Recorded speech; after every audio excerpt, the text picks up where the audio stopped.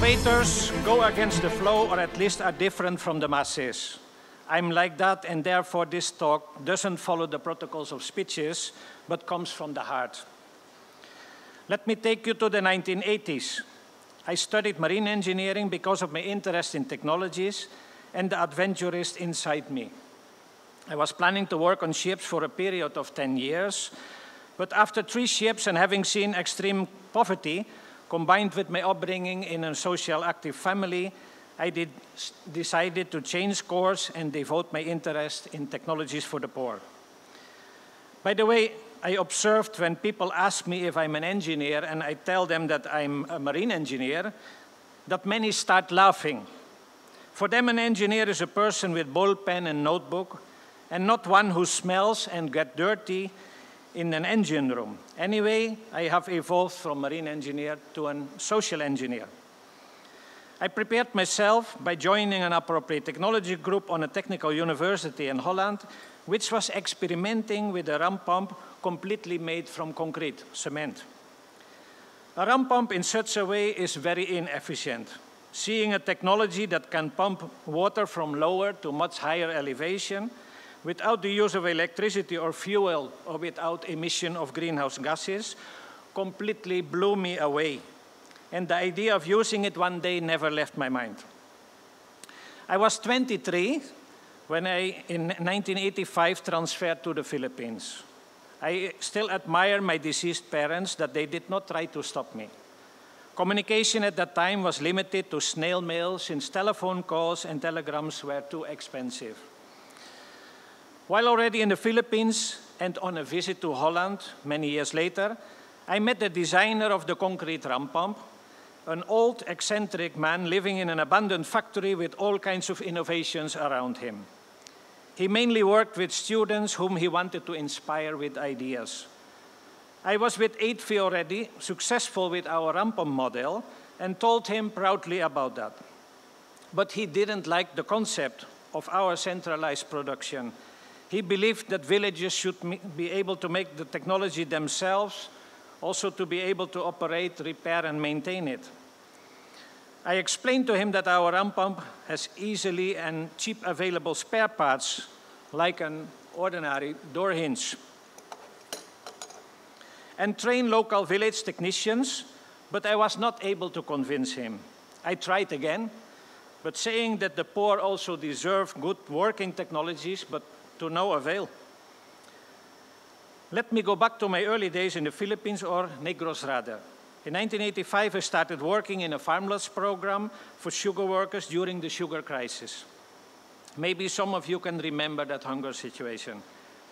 Through our group, sugar workers were able to borrow pieces of land for their own food production. The prices of sugar were so low that hardly any haciendero planted sugar. Uh, sugar cane, of course. No? In 1987, a new land reform program was started and haciendas foreclosed by the PNB and DBP were transferred to the sugar workers. I was involved in extending help to the, to the workers, formation of associations, provision of working animals, farm tools, and implements. My integration in those areas gave me insights in the absence of most basic services. When asked, the people would always mention as their number one problem easy access to drinking, household, and irrigation water. But there was no chance to introduce other technologies, and therefore, with three other colleagues, we formed AIDFI for that purpose and registered in 1992.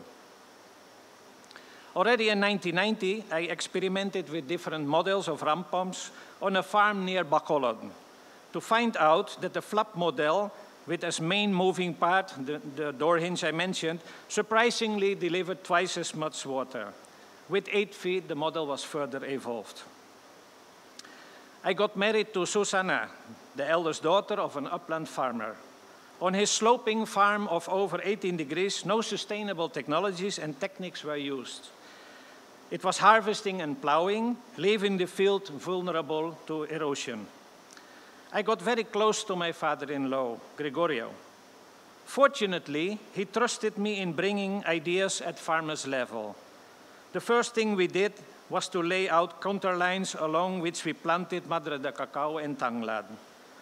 Papa Gregorio trimmed the hedgerows monthly and put the twigs behind them to stop soil from running down. It formed races over time. I also put up my first ram pump in a creek 50 meters below. Many technologies tried out on, at the farm at my own cost were later carried by AIDFI. I realized seemingly useless eroded sloping farms could become again productive using appropriate technologies and techniques.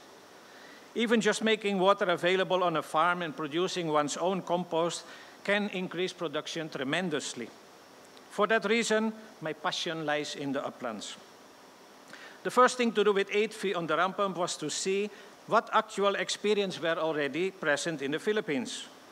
I wrote around 100 letters to universities, NGOs, government agencies, and church groups, church groups, etc., which were sent by ordinary mail. Some responses we picked up a year later at the post office. I visited most discovered installations to learn from their experiences. The first years with AIDFI were very hard since that was still pre-digital period. There was no, interest, uh, no internet, and for research, we made use of a microfiche reader with 1,000 books on technologies or negatives we had ordered from a US appropriate technology group. That was langit for us, even though nothing could be copied or printed. Communications were also hard and expensive, and it was super difficult to find some budget for projects being on an island such as Negros. We modified technologies from other undeveloped countries using local materials and spare parts. This included different water pumps, hydro for battery charging, biogas, windmill for electricity generation, latrines and agriculture production and processing. In terms of programs, we assisted new agrarian reform communities like we did in the past, but now integrating technologies. The ram pump has always been there and in fact our flagship technology. In the beginning it was one project at a time since the technology was completely unknown. We would, for example, have meetings with a room full of technical people with nobody having ever heard of a ram pump. I don't know about this room, but after this you will uh, know the ram pump for sure. The ram pump was developed in England some 240 years ago but despite its huge potential, never spread since it was swept away by the Industrial Revolution, where there was no concern for energy and environment. There had been some experiments with do-it-yourself models, which started at the time of high energy prices, some four to five decades ago, but those were time or budget limited and therefore never worked out. AIDFI developed its crossbreed model, combining the best of of both, meaning commercial and do-it-yourself models. Most of the programs with ram pumps were short-lived and concentrated on the technical side. With AIDFI, however, we wanted the technology to be an instrument for further development, and therefore it was necessary to work equally on the social aspects. We developed a holistic program around the ram pump installations. You must imagine that we enter upland communities where the villagers had to go down to the source over an elevation and long distances to get an average of only 40 liters water per day per household. Not enough for all the requirements in and around the houses. Our system would then be installed and supplied by the source through drive pipes and bring water to the highest point in the village to reservoirs and from there distribute it to public faucets. Prior to the installations, a community facilitator prepares the community through the setup, registration, and training of a water association. It also involves introduction of the association to local government units and agencies, community participation in hauling, actual construction, selection of local village technicians, and turnover activities. Around 70% of the officers are women, since water is vital in their daily household chores. Chores, I think, no? That's, I'm a Dutch, not an English-speaking person. All this is geared toward creating ownership over the project and with the purpose of triggering further development after the installation. It is also necessary since villagers have mostly previous bad experiences with unsustainable dole-out projects. In 2012, things went faster for AIDFI. Of course, this is the digital period. It got the Bureau of Soils and Water Management to institutionalize the ram pump of, as a small-scale renewable energy-driven irrigation technology. In the same year, AIDFI started working with Coca-Cola Foundation, Philippines, which was looking for technologies which could help them offset the use of, of their water in the bottling plants to communities or nature. Since 2012, we have implemented some 178 village systems for waterless upland communities for Coca-Cola, benefiting over 130,000 people. We evaluated the first 100 villages and found out that technical issues could be traced back to organizational challenges. This reinforced our belief that the social component is very important. We, for example, observed that the public faucet caused issues of unfair distribution and therefore poor collection of monthly fees. Innovation is in the heart of, or in the DNA of AIDFI, also in the heart. and the continuous search for improvements in the technical and organizational uh, aspects of the systems resulted, among others, in gasket made from recycled plastic, development of a monitoring app, and a water kiosk.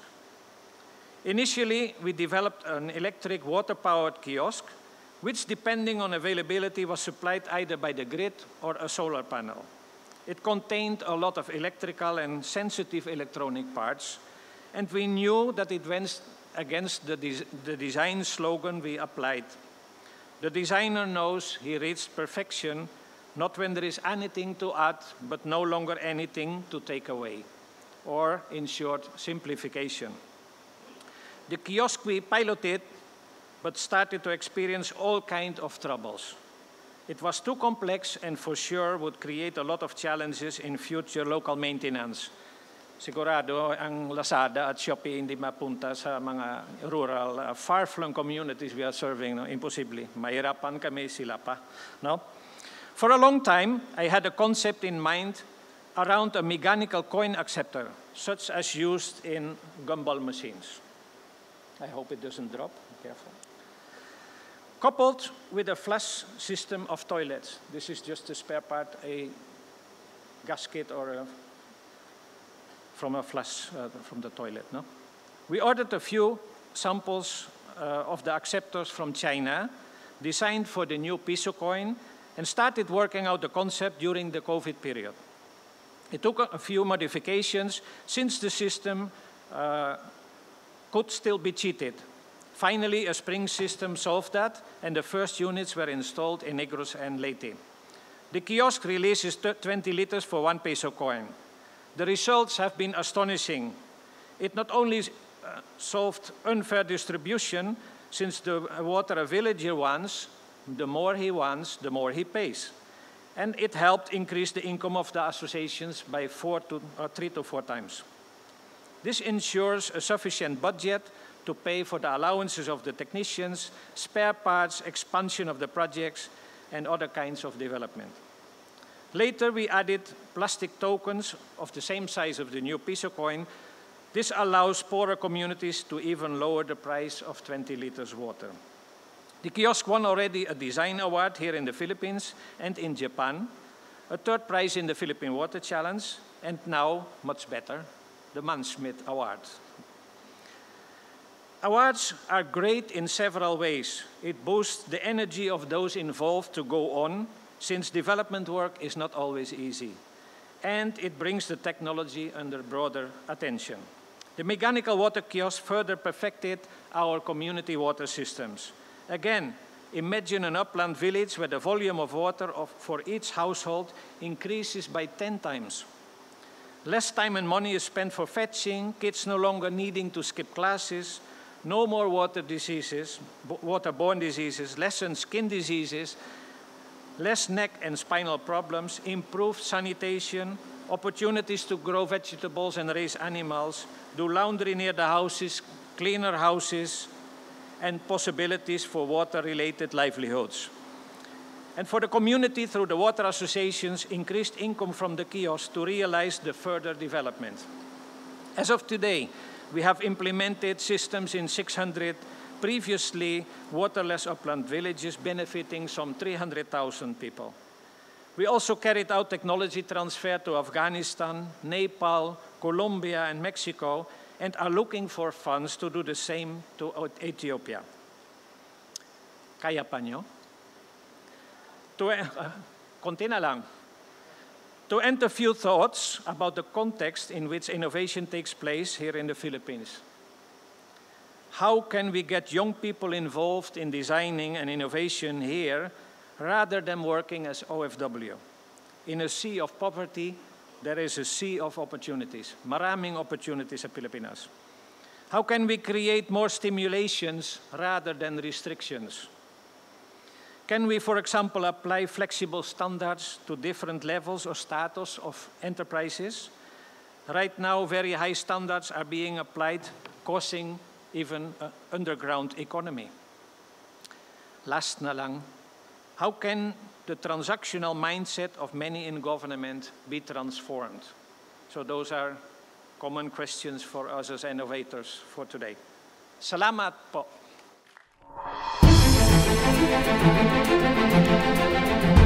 Um, if you don't mind, let's start off with asking what's AIDFI. So we just, I know it's an acronym for something, so we better we can appreciate yeah. and how we can also participate in helping AIDFI out. Yeah, so that stands for Alternative Indigenous Development uh, Foundation Incorporated.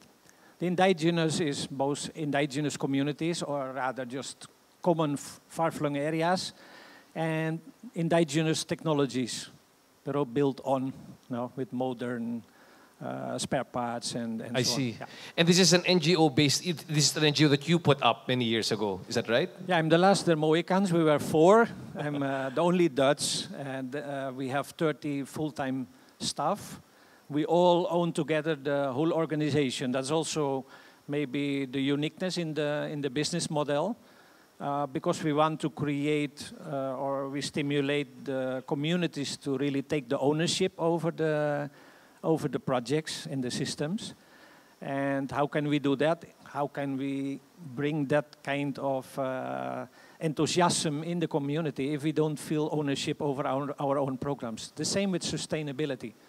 If you want to create sustainable systems, sustainable villages, we as NGOs should not depend on just funding, but also try very hard to be professional and uh, sustainable. Because NGOs in the past uh, we, we never were at that, we never followed that path. We were different all the time. So that's another innovation that you had. It's usually the grant model for NGOs yeah. with regard to financing. And yours was, what is the business model for your NGO to sustain it? Uh, the people who need the technology are the, mostly the poorest of the poor, so they cannot uh, afford the infrastructure. We don't also pay, for example, uh, for the directly for the water pipes and so on. So uh, water is also a right. So the funding has to come from other people. We uh, do the technology. We have everything in place.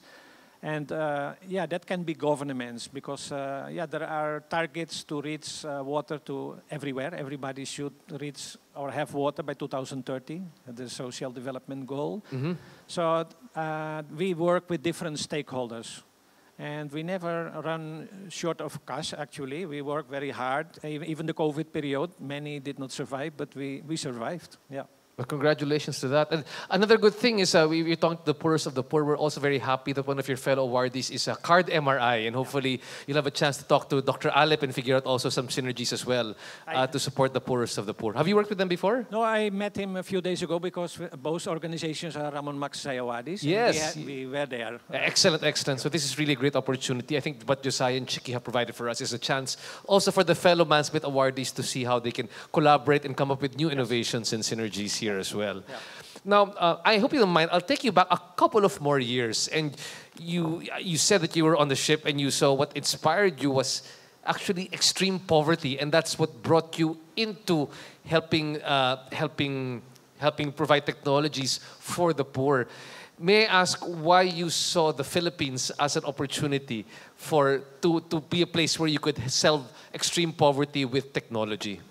It, it could have been another place, but coincidentally, I was also with uh, Filipinos as seamen at, the, at that time already on the ship. Uh, I stayed several weeks in the Philippines. I also came back to the Philippines. Mm-hmm.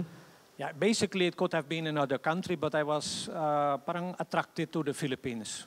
The, the rest I will write, I hope to write one time in a book and then, no, but it's a long story. Fantastic. So that's Yeah. why you chose the Philippines eventually. Yeah. Um, now, since we're talking about the Mansmith Innovation Awards, we're really looking at the process of innovation and how we can also recreate the lessons that you've gained uh, to develop your own product. And what I find interesting about the innovation that you did now, if you look back at the first step model, was you challenged the assumption of how water should be distributed, basically. And that's what the ramp, that's what the ram pump model eventually did for you. But the other thing that what I find interesting, it's not, it's not just a product innovation that you had, it was also a social innovation at the same time. Product innovation, we, we pretty much understand very well. I mean, that's, that it was a process of iteration to get to the crossbreed model. But tell us a bit more because what I find more challenging and more interesting is the social innovation that you had to bring into the model of making it work. Discuss with us a bit more how you came across, you know, developing the solution, the, the social innovation. What was the pain point, and then you eventually came to solving it with a social innovation. Yeah, the, of, first you always concentrate on the technology, of course, because that, that's your direct uh, challenge, and it had to be really on uh, uh, based on local parts, uh, local materials and parts. We wanted to manufacture the pump, also to create uh, jobs in the Philippines, especially at that time. Negros had only the sugar industry. There, was, there was nothing else in the pre-digital period. Uh, then we realized, of course, that the areas we worked in were really far flung. So technically, that was okay, but also the people had to take the yeah the ownership, huh? really the, the feeling that it was their project, and uh, uh, in the same time they had the experience. You you would if you would have a uh, first orientation, you come in in a village. First of all, they don't believe that the ram pump can bring it up without electricity and fuel. Even somebody will say, I will chop my finger if you can do that without motor, no? So they just believe the technology, but then that's okay, we demonstrate that. Then you have a lot of uh, male who are at the side, and they are very cynical, and then, and they have a lot of experience. We have seen that everywhere, like there are already structures uh, from the government, for example, or for politicians, m- mostly done during uh, election time. and so people are very cynical about projects. So first you have to prove that you are there, that they build a trust, and that, that they really need to take the ownership over the technology.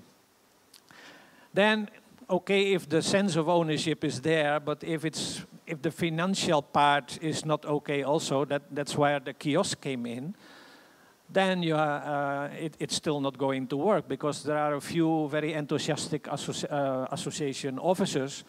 But if there is not enough money, that, for example, a technician has to go down, let's say 150 meters over a difficult path, especially during rain, rainy season.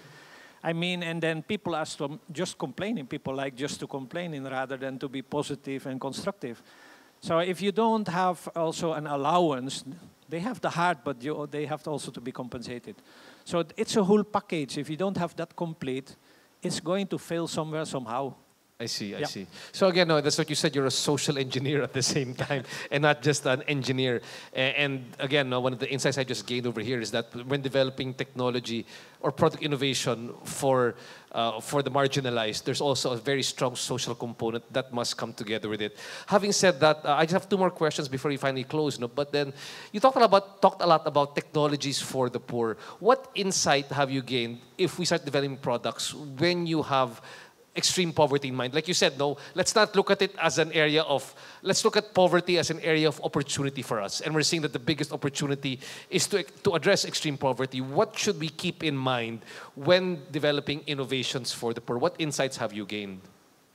Uh, yeah, we have to really understand, of course. Uh, parang, I like to walk. If I'm in Manila, I walk a lot of kilometers. Yesterday, we came from a big Coca-Cola event. We walked seven and a half kilometers.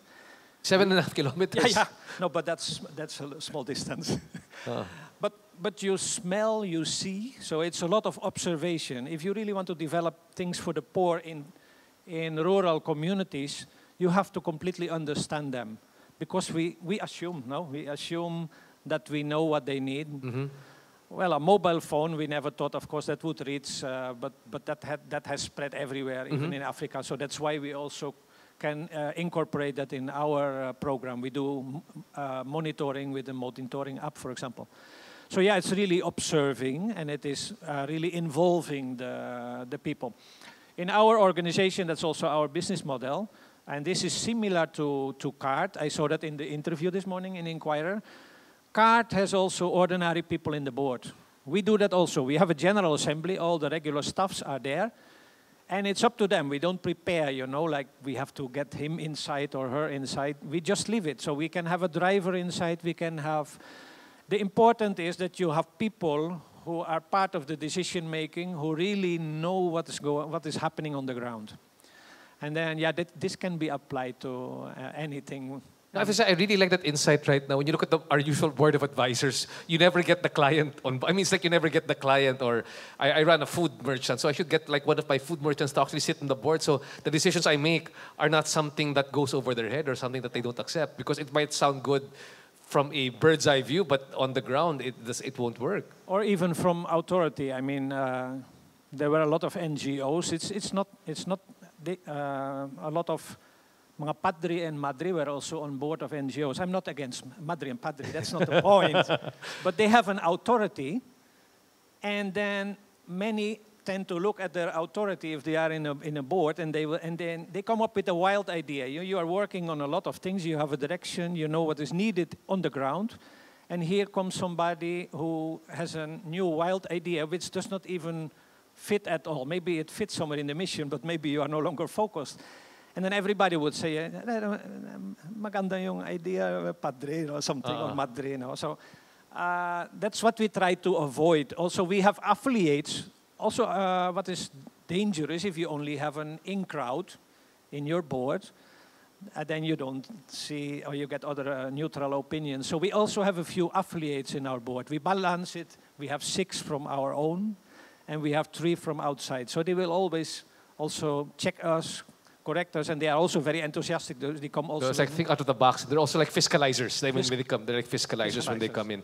And the last question, which I found extremely interesting, and the insight that I got from you was that the importance of simplification. In, in, innovation can also mean simplification. Let's start, let's let's end with that question. Share with us a bit more of insight from uh, innovation can be all about simplification.